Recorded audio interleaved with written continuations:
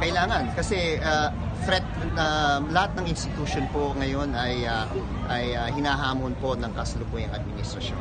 Nakita po 'yan yung uh, nangyari sa ating Korte Suprema uh, at uh, iba pang mga mga institutions po natin. Ang natitira na lang po ay ang Senado. Kaya importanteng uh, handa handa uh, protektahan ang institusyon ng Senado dahil, dahil ito na lang po ang nagbibigay ng check and balance sa kahit anumang administrasyon.